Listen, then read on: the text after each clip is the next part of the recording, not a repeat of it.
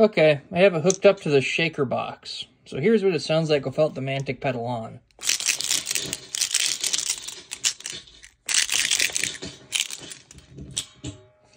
You get the idea. All right, let's turn the pedal on.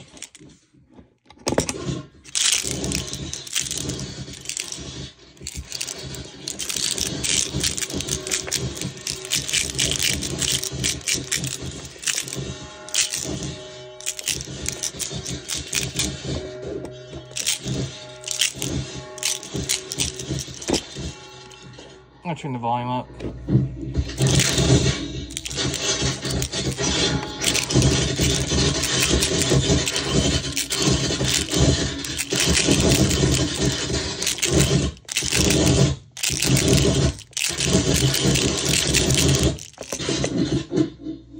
Okay, let's play with these knobs a little bit.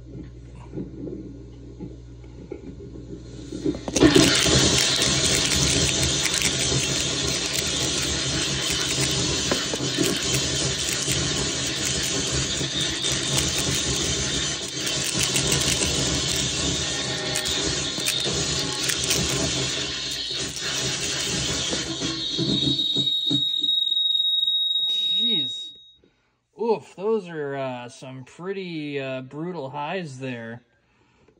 All right.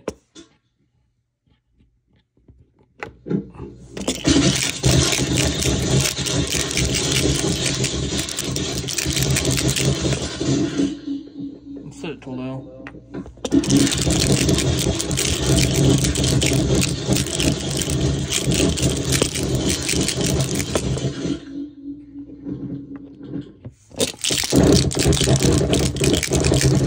So you can see when that knob is set to max, it mostly just makes this crackling noise, which I think would be pretty good for making thick walls of noise. You know, in addition to some other pedals and sound sources and that kind of thing.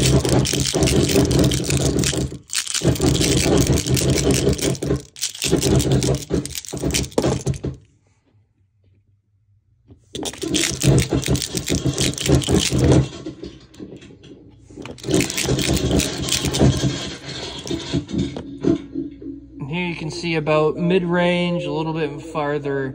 Um, you get the crackle sound and also some of the original sound from the shaker box.